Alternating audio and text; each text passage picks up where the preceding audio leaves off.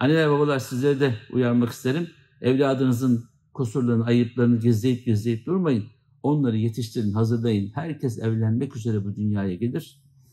Ve çocuklarınıza doğru eşleri seçme hususunda yardımcı olun. Bilmiyorlar. Hiç kimse bilmiyor. Bilmedikleri şeyi neden bilmiyorsunuz diye onları da sıkıntıya sokmayın. Eş sizindir. Çocuğun bütün e, maneviyatını, medeniyetini, ahlakını, edebini en iyi anne bilir. Anne. Babalar da eşlik eder. Allah güzel e, refakat edebilmeyi hepimize nasip eylesin. Evlilik akdi boşanmayla sonuçlanabilir. Talak, boşama, hulu, boşa çıkarma, muhala, karşılıklı anlaşarak boşanma olabilir. Hayat bu. İnsan bir şeye heyecanla başlar, hezeyanla bitirebilir. Hayat bu. Tabii ki öncelikle boşanmalar hukuki çerçevede olmalıdır. Nasıl resmi olarak başladıysa resmi olarak sonuçlanmalıdır. Ama kavgalar, hakaretler, e, böyle çok üst düzey yukarıdan pervasızca söylenen sözler artık iki insanı bir araya getiremez olur. Bu duruma düşmeden anlayışla boşanmayı tavsiye ediyoruz. Kur'an da böyle emrediyor. Mutlaka bir gün karşı karşıya geleceksiniz çocuklarınız için, onlar evlenirken ya da mal paylaşımı için, bir şey için, cenazede falan.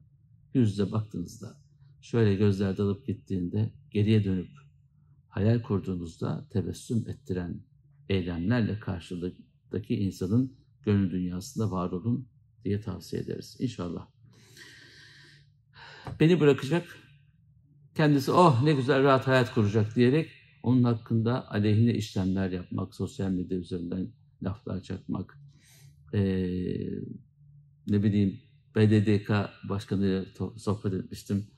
Ee, ayrılan eş gidip kocasının bütün açıklarını tek tek sayıyormuş. Şuradan çalıyor, buradan çalıyor. Hanımefendi anlatmayın demesine rağmen başkan hepsini anlattılar. Mecburen işlem yapmak zorunda kaldık.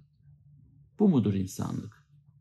Başkasına yaramasın, kendisi de mahvolsun diye hayata kastetmek müdür? Hanımefendi, size sesleniyorum duyuyorsanız. Ya da hanımefendiler ya da beyefendiler tersini de söyleyebiliriz. Hanımefendi zengin, beyefendi fakir olabilir. Bu mudur? Onu hayatı dar edeceğim. Geri dönür. Senin de mal varlığın alt üst olur. Hayatın alt üst olur. Yok eden yok olur. Var eden var olur. Allah var edenlerden onu nasip eylesin. İntihar edenler, intihar etmeye kalkanlar, birbirlerini vuranlar. Allah! Evlilik öncesi huya suya dikkat etmek lazım. Anneye babaya bakmak lazım. Onları dinlemek lazım. Karşıdan aile çocuklarının ayıbı kusuru varsa baştan söylemesi lazım. Bunları gizleyip de insanların hayatlarını alt üst etmeyin rica ediyorum. Allah rızası için sesleniyorum.